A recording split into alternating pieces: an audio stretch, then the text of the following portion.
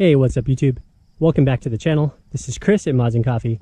This is my Q50S Hybrid, and I've had it officially for one year, so I wanted to do a quick review and kind of run down some of the things that I love about this car.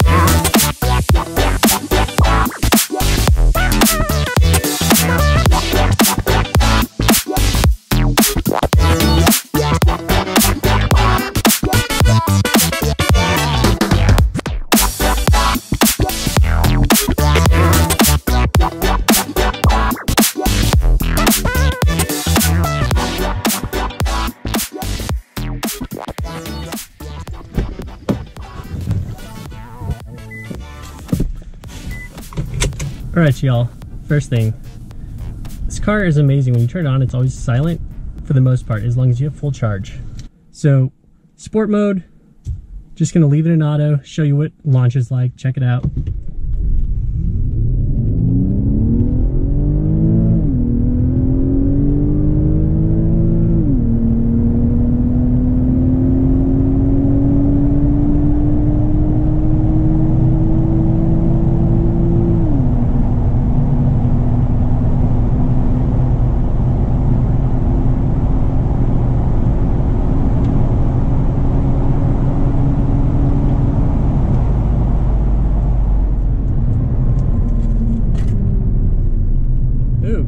Bugs on there.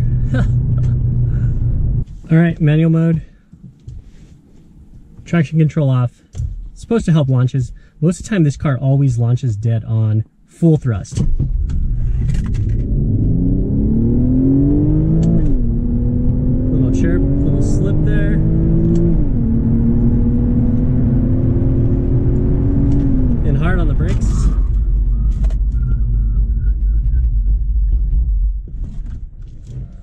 Like I could have slammed on the brakes harder, but I was just kind of letting the ABS do its thing there. And you just want to cruise. You, know, you set your cruise control on, and literally, this car drives itself. As long as you're on a straight road, it'll stay in the lines. Accelerate.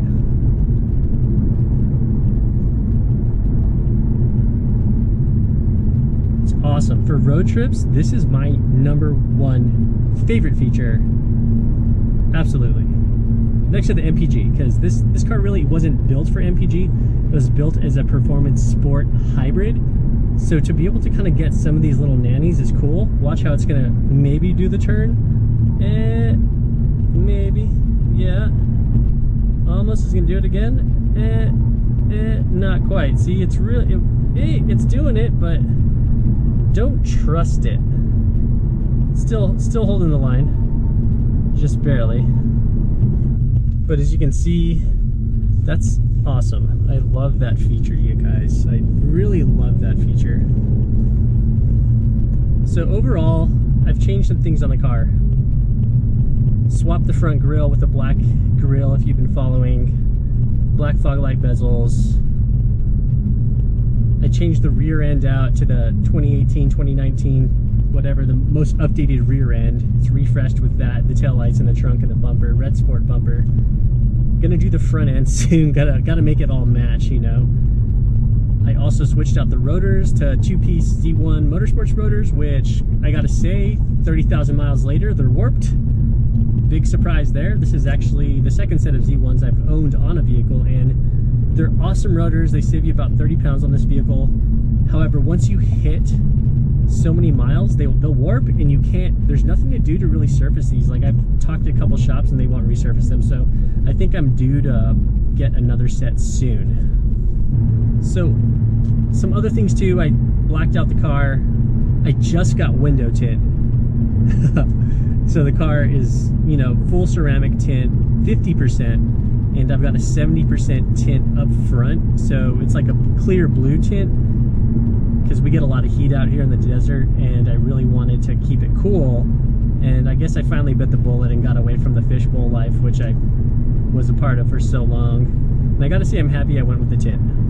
So I also added a couple other blacked out things. I had the carbon fiber mirrors and the blacked out handles. They're actually OEM handles that I got on eBay, black. That way I didn't have to, you know, wrap them. And I put them on the vehicle and just wrapped the little chrome piece. And then I got this funny little black Audi style spoiler lip, which I really like.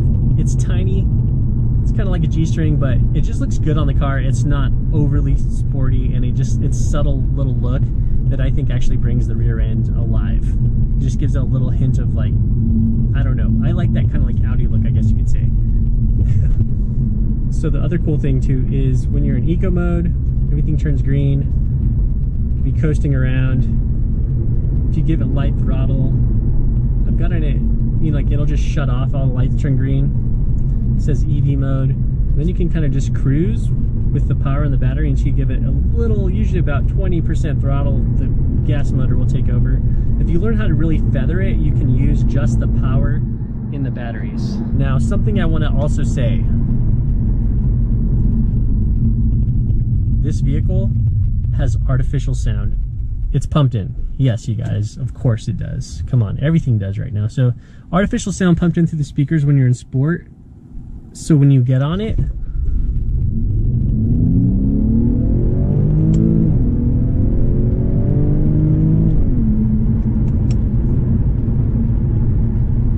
you can hear it.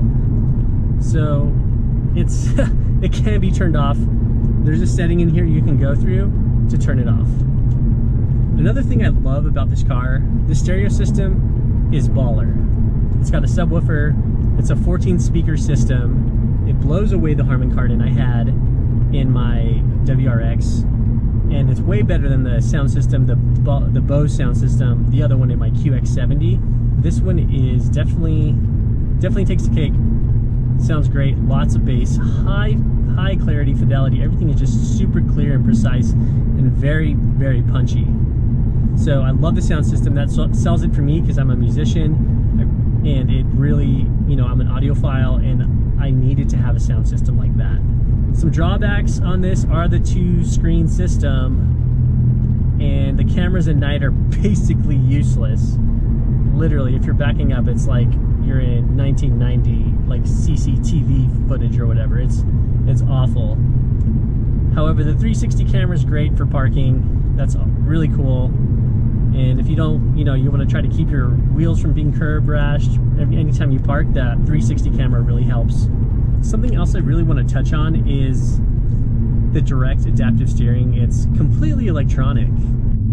I really like the direct adaptive steering because when you're taking a lot of bumps and railroad tracks and other things in the highway or road, whatever it is, it never pulls the car or any you don't ever feel it in the wheel you don't get the little shimmy like oh i hit a bump and like you start tracking that direction or you feeling it really a lot in the steering wheel. That's something i kind of wanted. I wanted i wanted a dead feel. I wanted it to be just dead on straight accurate every time i'm driving it no matter what the conditions kind of are.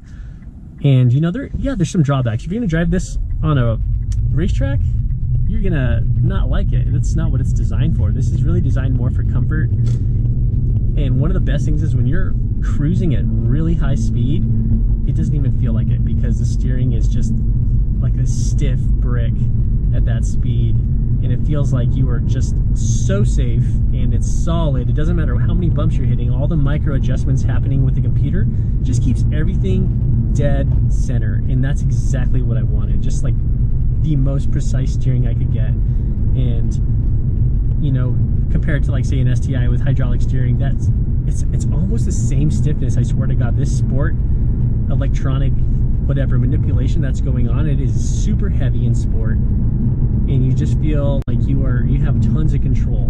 Now, if you're on the track, again, it is you're gonna not know what the wheels are really doing. However, this is a hybrid, like a hybrid daily car. It's not meant to go on the track. At least I would not take it on the track. The other cool thing is the headlights are also steering adaptive, so when you turn, the headlights turn. Love that feature, and everything's full LED. It's super bright at night. It's a great choice. So the other awesome thing about this vehicle, the paddle shifters, they're magnesium and they're stuck on the center column, you guys. So look at this. Like, if you're doing a U-turn, you can still, oh my gosh, like they don't move. That just makes sense. Why would you put sh paddle shifters when the on the wheel that turns? It just, it's never made sense to me. My Grand Cherokee was that way. It drove me crazy. Infiniti's always had that dial, just like the GTR. This is, you know, keep the freaking paddles on the column. And they feel great. They're magnesium. Talking about the power, this vehicle has 360 horsepower. And from what I've read online, there's so many kind of mixed things because it's measured in nano, nano whatever, like 472 foot-pounds of torque, roughly, and I guess that's, you know, at the crank or whatever. It's At the wheels, obviously, you're not going to be there. I think people have measured at the wheels and it's about 420, which is still awesome for a stock vehicle. That this little like electric engine really has some torque.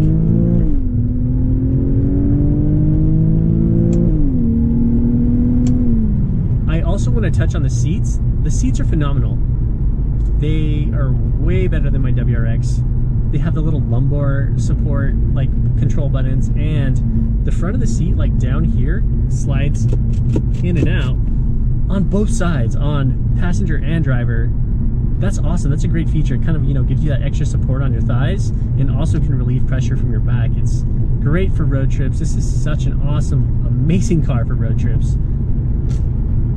And I even took it once. I think we drove all the way from Sedona, Arizona, and got pretty darn close to El Paso. We were just outside of Las Cruces, and I think it was like 515 miles that I got to one tank. It was super impressive. And that's great for sports sedan. 515 miles to a tank? Sign me up. All right, I also want to touch on some of the issues that I've had with the vehicle. Number one being, like I said earlier, change the fluids in the transfer case transmission or else you're just going to start to get slippage and it's just not going to accelerate and have the same thrust. You know, a lot of that thrust and the way the dual clutch system works in tandem with the electric engine, gas engine, and transmission, it's all in line. No torque converter, you've got to keep all those fluids clean and fresh, otherwise you're going to slip. So that's my number one complaint, okay? Second complaint, the brakes are super touchy. Probably because the regenerative braking system, they're very touchy there's like been TSBs and recalls, I think, to fix some of this kind of things, but it's very touchy. And I, I believe it's my belief that it warps the rotors faster. And that's just my belief. I, I just feel like it does. I mean, granted, I'm the idiot who's running two-piece rotors on here to save weight. Still, they warp incredibly fast, I think. If y'all are thinking of picking up a Q50 hybrid, get the 2015 because it's the last year of the sport and you can get on it. You get the big brakes. You get the instant electric thrust. And you get the blue S, which I took off my car, but it does come with a blue S. It's not a red S like the Red Sport. I'm sure there are some things I'm leaving out about this vehicle. However, I want to say that overall, really happy with this purchase. Was exactly what I had hoped for and more.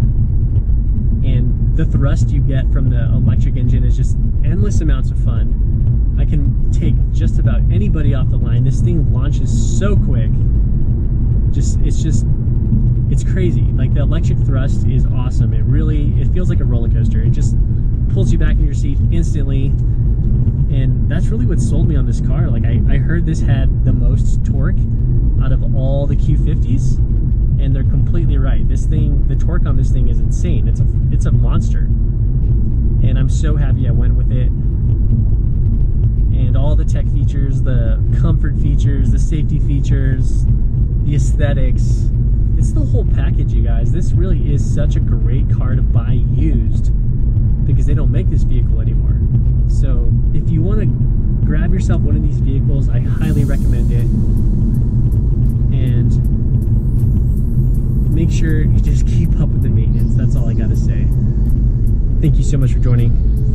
Subscribe down below, hit the bell notification so you get notified when my new videos come out. And drop me a comment and I'll get back to you. Hope you guys have an awesome, awesome week.